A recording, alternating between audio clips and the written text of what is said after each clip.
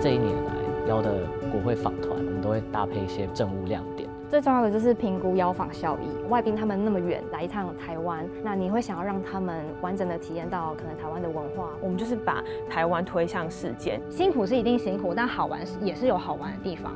可以说是抱着很大的热忱来来外交部服务。因为我们都是代表台湾的一份子，台湾的这个良善的力量在推广出去。如果民众说谢谢你们让台湾在世界舞台上被看见，哇，我会觉得还蛮受鼓舞。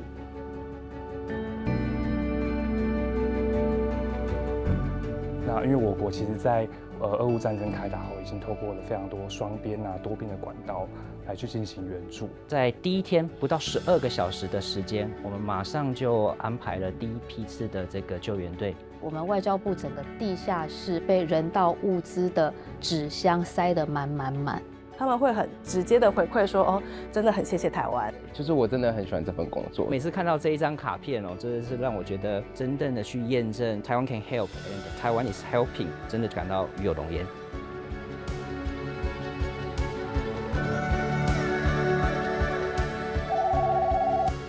我的皮包无去啊！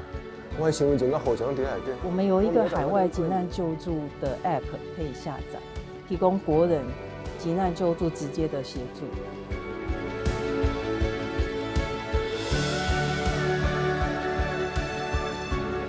我们在第一线的位置，让每一位国人可以高兴的在国外旅游，并且安心的、顺利的回到台湾。